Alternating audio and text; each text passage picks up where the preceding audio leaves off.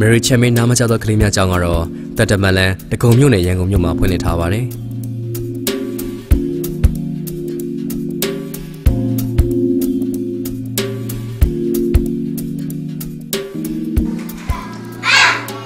2015 2016ပညာသင်နှစ်အတွက်ကျောင်းသားကျောင်းသူစုစုပေါင်း382ဦးပညာသင်ကြားနေကြပါတယ်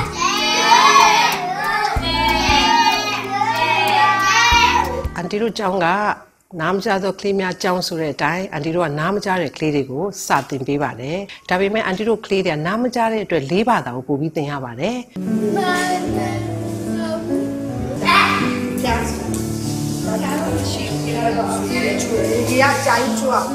လက်ရှိရှိနေတဲ့အဆောက်အဦကဒီကလေး150လောက်တက်ပဲဒါပေမဲ့အခုဘော်ဒါမှာ234ရောက်ဆိုတော့နေရာထိုင်ခင်းအတွက်ကအခက်အခဲရှိတာပေါ့နော်ကွန်ပျူတာလှူမဲ့လူများရှိလို့ရှိရင်အန်တီတို့လှိုက်လဲဆိုတာကြိုးဆိုပါတယ်လို့အလှူရှင်များကလည်းနေ့တိုင်းကိုလာလှူတဲ့အတွက်အလှူရှင်အားလုံးကိုလည်းကျေးဇူးအများကြီးတင်ပါတယ်လို့အဲ့ဒါလေးပြောချင်ပါတယ်